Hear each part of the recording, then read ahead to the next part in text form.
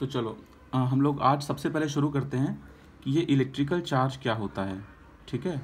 Electrical charge क्या होता है? तो देखो वन कुलाम चार्ज को हम लोग इलेक्ट्रिकल चार्ज कहते हैं।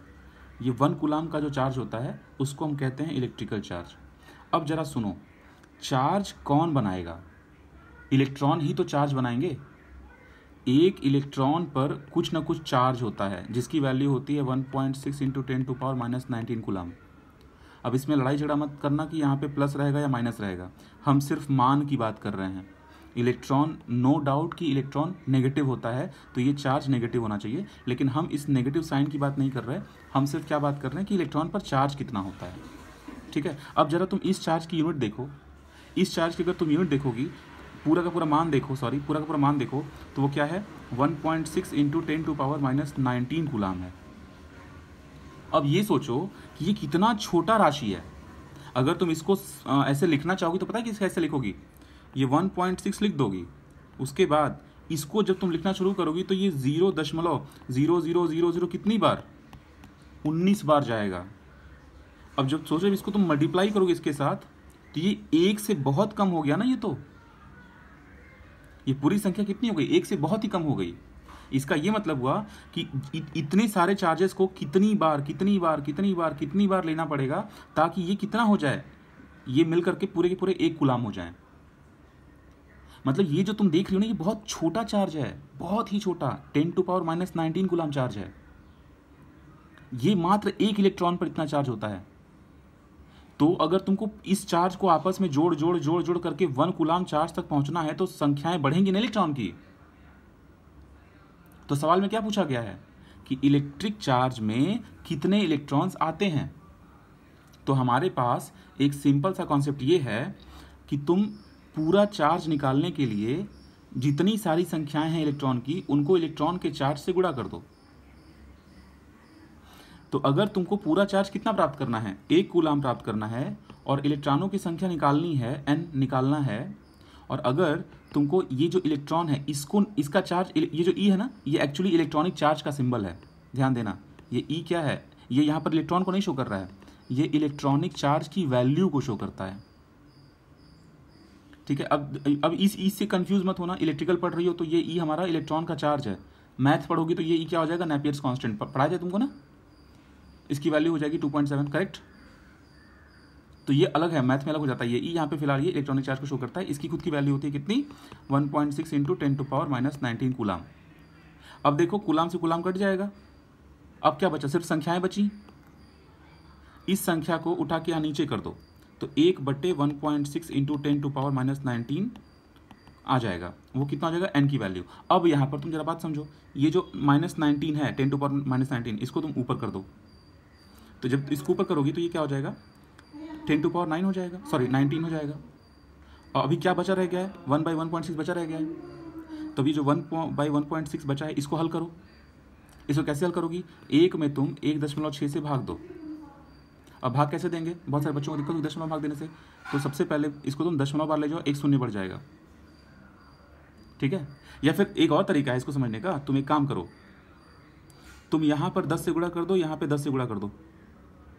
तो इससे इस वाले का डेसिमल तो हट जाएगा, ये सोलह हो जाएगा, और ये हो जाएगा दस।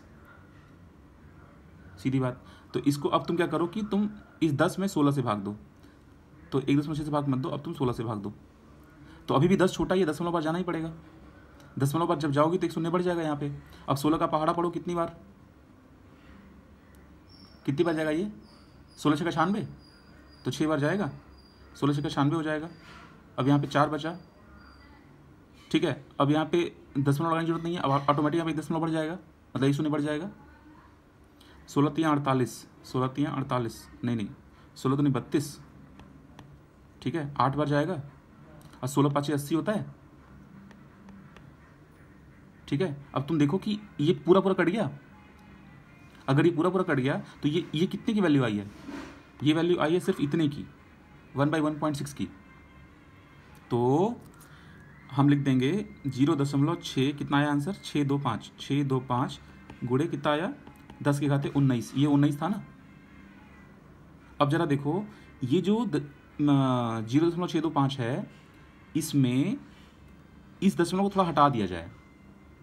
थोड़ा सा इधर कर दिया जाए। तुम चाहो तो पूरा हटा दो दशमलव, यहाँ से तीन तीन ज़ीरो यहाँ से निकाल लो। मतलब इसको तुम सोलह कर दो, टेन टू पावर सिक्सटीन कर दो, और तीन ज़ीरो से इसको छः सौ पच्चीस कर दो। तुम ये तो अपना इसको कितन, कैसे लिखना है वो तो अपने पर डिपेंड करता है ना। मतलब ये कहना चाहते हैं six point zero two five into ten to power nineteen लिखा हुआ है। इसको तुम कई तरीके से लिख सकती हो। अगर यहाँ से तुम एक ज़ीरो यूज़ करती हो मतलब टेन टू पावर एट्टीन के रूप में लिखती हो तो सिर्फ़ दसमलव एक एक बार शिफ्ट होगा तो उत्तर आएगा छः दशमलव दो पाँच। अगर तुम यहाँ से दो ज़ीरो यूज़ करती हो मतलब टेन टू पावर सेवनटीन के रूप में लिखती हो इसको तो ये हो जाएगा बासठ दशमलव पाँच। लेकिन अगर तुम यहाँ से तीन ज़ीरो यूज़ कर लेती हो मतलब टेन टू पावर सिक्सटीन के रूप में लिखती हो तो ये कितना हो जाएगा? दो सौ पच्चीस। अगर यहाँ से एक और ज़ीरो यूज़ करो मतलब समझ रही हो ना? वो तो अपने ऊपर से हुआ। अब देखो, इतने इलेक्ट्रॉन आएँगे, या फिर तुम बोलो इतने इलेक्ट्रॉन आएँगे। जब इतने इलेक्ट्रॉन तुम लोगी, तब जाकर के तुम्हारा कितना बनेगा? वन कुलाम का चार्ज बनेगा। एज इलेक्ट्रिकल इंजीनियर ये एक कांस्टेंट डेटा होता है। इसको याद रखना चाहिए। जैसे कि हम लोग को जी की वैल्यू याद रखते हैं nine point eight one metre per second square six point two five exact आ रहा है। क्यों हम लोग का कट गया था ना? सोलह पाँच अस्सी पाँच बार पूरा कट रहा है ना? अच्छा चलो ठीक है। अगर हमसे कहीं गलती हुआ होगा तो ये नियरेस्ट वैल्यू तुम्हारी यही रहेगी, ठीक है? सिक्स पॉइंट टू फाइव या अगर तुम कह रही हो कि सिक्स पॉइंट टू फोर है तो कोई बात नहीं, ये नियरेस्ट वैल्यू है। सिक्स पॉइंट टू फोर भी ओके है। टेन टू फोर एटीन इसको तुम एक बार अपने से डिवाइड करके जरा चेक कर लेना, ठीक है? कैलकुलेटर से कि एग्जैक्ट कितना दे रहा है। वैसे गलती तो हो सकती है हमसे डिवीज़न करने में। चलो। समझ में आ गई बात ना? बोलो। इसमें कहा नहीं समझ में आया? संख्या निकालने आ गई? कैसे ही संख्या निकलेगा? चलो ठीक है। अब जो अगला तुम क्वेश्चन पूछ रही थी, वो क्वेश्चन किस बारे में था? इसके ठीक पहले वाला क्वेश्चन क्या था?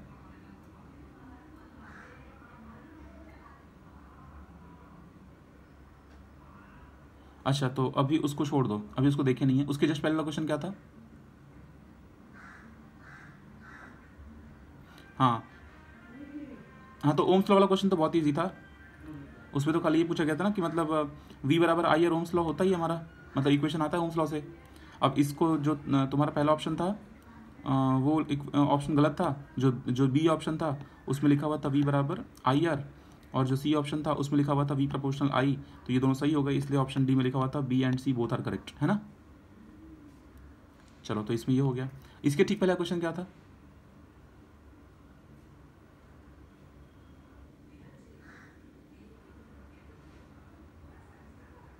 हाँ अब देखो। अब वो पूछ रहा है, स्थैतिक बिजली किससे उत्पन्न होती है? तो अब ये जो स्थैतिक बिजली होती है पहले समझें कि वो होता क्या है। ठीक है? अच्छा आ, बाकी जो लोग भी इस वीडियो को देख रहे हैं वो लोग समझें कि हम लोग कर क्या रहे हैं। हम लोग पूरा एस एस सी जेई का यूपी एल का बिहार पीसीएल का और जो भी रिलेटेड जेई के एग्ज़ाम्स होते हैं इलेक्ट्रिकल इंजीनियरिंग में सब लोगों के लिए, जो सारे क्वेश्चंस होते हैं, हम लोग one by one one by one one by one वही सारे क्वेश्चंस लेकर के और उन्हीं कॉन्सेप्ट्स को हम लोग यहाँ पे डिस्कस कर रहे हैं। इससे क्या होगा? कॉन्सेप्ट भी तैयार हो जाएगा जल्दी जल्दी और सारे के सारे क्वेश्चन भी लग जाएँगे। ठीक? तो हालाँकि हम तीन चार दिन पढ़ाने के बाद से ये वीडियो बनाना शुरू किए हैं, ये सीरीज़ इसलिए दो तीन वीडियो छूट गया है। कोई बात नहीं, आप लोग जितना से वीडियो बन रहा है, वहाँ से देखना शुरू कीजिए। चलो, अब हम लोग शुरू करते हैं, ये स्थैतिक विद्युत क्या होता है? अब देखो, स्थैतिक विद्युत क्या होता है? देखो, इसको स्थैतिक क्यों कहते हैं? क्योंकि हम लोग उस विद्युत की बात कर रहे हैं जहाँ पर चार्ज चलेगा नहीं, रुका रहेगा। अब जरा समझो, ये दो तरीके से हो सकता है। अक्सर तुम ऐसा सुनी होगी, जैसे हम लोग बचपन में करते भी थे कि एक कंघी ले लो। कंघी इंग्लिश में कॉम कहते हैं। इसको अपने बाल में मतलब मान लो कि ये कोई पर्सन है, इसका यहाँ पे बाल है, अब इस कंघी को लेकर के अपने बाल में रगड़ो। तो इससे क्या होता है कि तुम्हारे बाल और कंघी के बीच जब घर्षण होता है ठीक है तो ये कंघी चार्ज हो जाती है। अब देखो कंघी चार्ज हो रही है इसका मतलब दो ही चीज़ हुआ होगा। या तो कंघी के इलेक्ट्रॉन बाल पर गए होंगे या तो बाल के इलेक्ट्रॉन कंघी पर आए होंगे। अभी फ़िलहाल हमको ये याद नहीं है कि क्या होता है एग्जैक्टली exactly, कौन सा इलेक्ट्रॉन किस पे जाते हैं लेकिन हुआ यही होगा। जैसे तुम ये भी सुनी होगी कि कांच होता है ना कांच मतलब कांच। उसको जब तुम फर पे, फर मतलब वो जो सॉफ्ट सॉफ्ट कपड़े होते हैं, उनके ऊपर रगड़ोगी तो उसमें भी ऐसा ही होता है कि इलेक्ट्रॉन का ट्रांसफ़र हो जाता है। फ़िलहाल हमको ये याद नहीं कि किसका इलेक्ट्रॉन किस पे जाएगा, वो एनसीईआरटी में भी लिखा रहता है इलेक्ट्रॉन किस पे जाता है। इसमें से कोई एक पॉजिटिव हो जाएगा, कोई एक नेगेटिव हो जाएगा। हम श्योर नहीं है कौन सा पॉजिटिव कौन सा नेगेटिव लेकिन होगा क्या कि इलेक्ट्रॉन ट्रांसफ़र हो जाते हैं। अब इलेक्ट्रॉन के ट्रांसफ़र होने की वजह से क्या होता है कि कोई एक चीज़ मतलब दोनों ही साथ साथ में चार्ज हो जाते हैं। ठीक है? तुमको याद होगा, हम लोग ऐसा करते थे, कंघी लो, बाल पे रगड़ो तो उस पर कंघी में ये क्षमता आ जाती है कि वो छोटे छोटे कागज़ के टुकड़ों को उठाने लगती है। अगर पास में जाओगे तो चिपक जाएँगे। क्यों? अट्रैक्शन फोर्स की वजह से। ठीक है तो यहाँ पर हम लोग विद्युत पैदा कर दिए। लेकिन इस स्टैटिक कंडीशन में चार्ज बहेगा नहीं, लेकिन हम लोग इसको चार्ज कर दिए। तो रगड़ने से ऐसा हुआ ना तो घर्षण हो गया। अब जरा और समझो। एक चीज़ होती है इंडक्शन इंडक्शन को हिंदी में क्या कहते हैं, हम भूल रहे हैं? प्रेरण। ठीक है? प्रेरण कहते हैं। अब देखो, ये जो प्रेरण होता है, ये कैसे काम करता है? प्रेरण को समझने के लिए हम लोगों को समझना होता है कि ऑलरेडी मेरे पास पहले से ही कोई चार्ज ऑब्जेक्ट प्रेजेंट होना चाहिए तो ही हम लोग प्रेरण को समझा सकते हैं। मान लो किसी ज़रिए से तुम पहले से चार्ज लेकर के आ गई कहीं से। अब साथ में, पास में कोई एक न्यूट्रल ऑब्जेक्ट रखो। न्यूट्रल मतलब उदासीन ऑब्जेक्ट रखो। उदासीन का क्या मतलब होता है? एक ऐसा पिंड रखो जो उदासीन है। उदासीन का मतलब क्या होता है? उसका टोटल चार्ज ज़ीरो किसी बॉडी में टोटल चार्ज अगर ज़ीरो है, इसका ये मतलब नहीं है कि बॉडी के अंदर इलेक्ट्रॉन और प्रोटॉन नहीं है। इसका क्या मतलब है? इलेक्ट्रॉन प्रोटॉन तो हैं, लेकिन वो दोनों बराबर संख्या में हैं। जितना प्रोटॉन है, उतना ही इलेक्ट्रॉन है। अब क्या होगा? जब तुम किसी पॉजिटिव चार्ज को पास में ले जाओगी तो अंदर में जहाँ जहाँ भी नेगेटिव चार्ज बैठे हुए हैं वो इस पॉजिटिव चार्ज के अट्रैक्शन की वजह से एक साइड आ जाते हैं। वो चाहते हैं कि इसमें मतलब जंप करके इसमें चिपक जाएँ। लेकिन बॉडी तो अभी वैसी है नहीं बॉडी थोड़ी दूर है। और इतना बड़ा भी स्ट्रांग फोर्स नहीं है कि इसको खींच के निकाल लेगा इलेक्ट्रॉन तो क्या होता है कि अब, और सेम टाइम पे एक और चीज़ क्या होगा? जो जो पॉजिटिव लोग होंगे, वो प्रतिकर्षण की वजह से एक साइड हो जाएँगे। तो इसका मतलब प्रेरणा जब भी होगा तो जब कोई पॉजिटिव चार्ज किसी उदासीन वस्तु के पास रखोगी तो माइनस वाले इस साइड आ जाएँगे और प्लस वाले इस साइड आ जाएँगे। तो तुम देखो, पहले ये बॉडी उदासी, उदासीन थी, लेकिन अब इस बॉडी का आधा हिस्सा नेगेटिव चार्ज हो गया और आधा हिस्सा पॉजिटिव चार्ज हो गया। यही चीज़ तो हम करते हैं कैपेसिटर में। कैपेसिटर में हम लोग यही चीज़ करते हैं। कैपेसिटर कैसे बनाते हैं? हम लोग दो प्लेट लेते हैं, ठीक है? समझो थ्री में, दो प्लेट लेते हैं। एक प्लेट को हम लोग किसी प्रकार से पॉजिटिव चार्ज दे देते हैं। पॉजिटिव दो या नेगेटिव दो, कुछ भी दो, कोई एक कोई एक वैरायटी दे दो। अब दूसरे प्लेट में क्या होता है कि चार्ज देते ही एक साइड उसके नेगेटिव चार्ज आ जाएगा और दूसरे साइड पॉजिटिव चार्ज आ जाएगा। फिर हम लोग क्या करेंगे? जो दूसरा प्लेट है ना, उसको हम लोग धरती से जोड़ देते हैं। इसको कहते हैं अर्थिंग अब देखो एक यहाँ पे बहुत ज़बरदस्त प्रक्रिया होती है जो बच्चे भूल जाते हैं। क्या प्रक्रिया होती है? जब भी तुम इस कंडीशन में धरती से जोड़ोगी तो दो ही चीज़ पॉसिबल है। एक चीज़ ये हो सकता है कि या तो धरती से इलेक्ट्रॉन प्लेट तक जाएँ या तो यहाँ से इलेक्ट्रॉन धरती तक आए।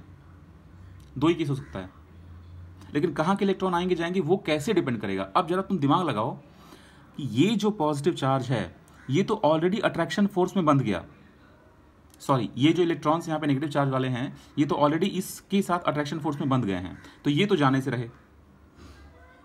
लेकिन चूँकि तुम अर्थिंग कर दी हो, इसलिए धरती के सारे इलेक्ट्रॉन्स आकर के इस पॉजिटिव वाले को खत्म कर देंगे।